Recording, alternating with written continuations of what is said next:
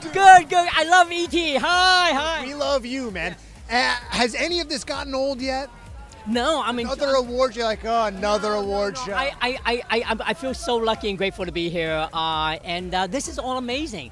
It's all so amazing, and I'm having such a good time. yeah, good. Um, Oscars this. I'm really excited. I know you got. Yeah, no, I love it. Um, Oscars this week. How are you preparing yourself mentally for the Oscars? Oh my gosh, wow, that's a good question. No, I have not. Uh, I'm trying to take it one day at a time. This is all so special to me. Uh, you know, I, one, I never thought I would ever be here. Uh, and, and all the recognition, all the attention that our movie has gotten so far has just been incredible. Uh, and, uh, and I just want to, to be in the moment. Uh, so I'm not that far ahead yet. What are you doing to like check in with yourself on a daily basis to like to stay in the moment to make sure you're taking in as much as you can? You know, every morning I wake up, uh, I, I, take a minute to, to make sure that this is not all a dream.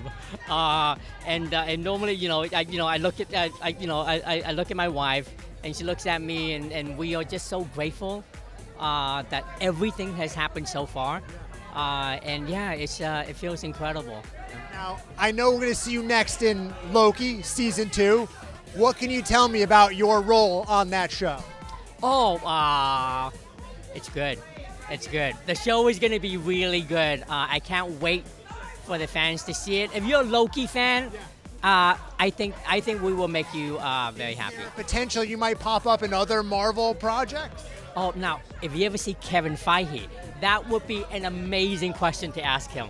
I, I would love to because I love the MCU so much. Right on, man. Thank Hope so. Much. Yeah. Thank Have you. fun today. Thank